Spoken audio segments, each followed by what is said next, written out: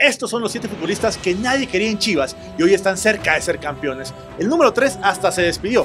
Número 7, Guacho Jiménez. Error tras error, dejar ir puntos importantes, salidas ridículas. El Guacho no tenía nada que hacer en Chivas. Pero llegó Paunovic y todo comenzó a cambiar.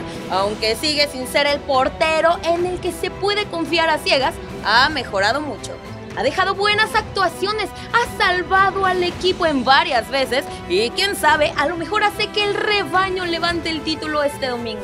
Número 6, Ronaldo Cisneros. El jugador a quien se le dieron oportunidades una y otra y otra vez. Desde que llegó a Chivas ha tenido oportunidad tras oportunidad, pero nomás en Chivas no se le da. Pero después de una gran temporada con el Atlanta United en MLS, Cisneros regresó con una revancha más, una oportunidad más.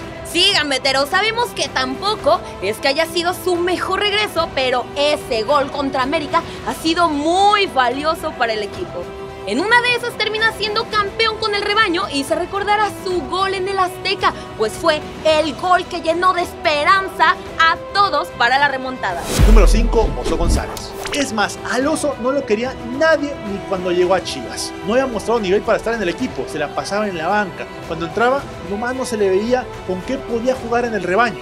Poco a poco cambió los insultos y quejas de la afición por aplausos. Algo le hizo Pauno que lo rescató. Comenzó a ser un jugador importante. El mediocampo lo hizo suyo en partes del torneo y hoy es un futbolista clave para Chivas.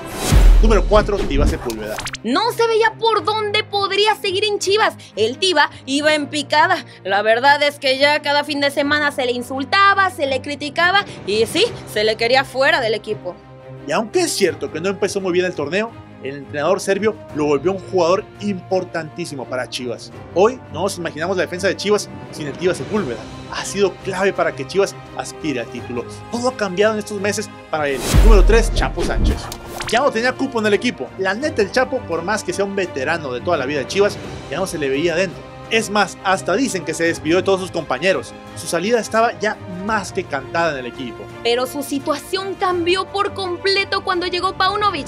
Hasta titular llegó a ser al principio. Hoy no es titular en Chivas, pero sí ha sido un jugador importante. Ya sea como relevo o como líder del vestidor, el Chapo puede alzar nuevamente el título con Chivas. Número 2. Carlos Cisneros. El jugador de las oportunidades infinitas mostraba solo algunos chispazos de calidad y volvía a ser el mismo jugador irregular de siempre. Ya de plano no se le veía futuro en Chivas. Pero aunque no dejó de recibir críticas por su mal desempeño, sobre todo cuando se iba al ataque, Cisneros simplemente no se rindió y de la nada fue titularazo de estas Chivas. Se perdió la gran final, pero hoy ese deseo de que salga del equipo ha quedado en el olvido. Se convirtió en un jugador muy importante para este club. Número 1, Pollito Briseño. De maleta nadie lo bajaba, se burlaban que celebraba las barridas, era banca y hasta los solos lo rechazaron. No se veía por dónde Briseño podía salir adelante. Pero su vida dio un giro de 180 grados. Se recuperó de una lesión. Pauno lo vio en los entrenamientos y de inmediato se dio cuenta que era el defensa que necesitaba el equipo.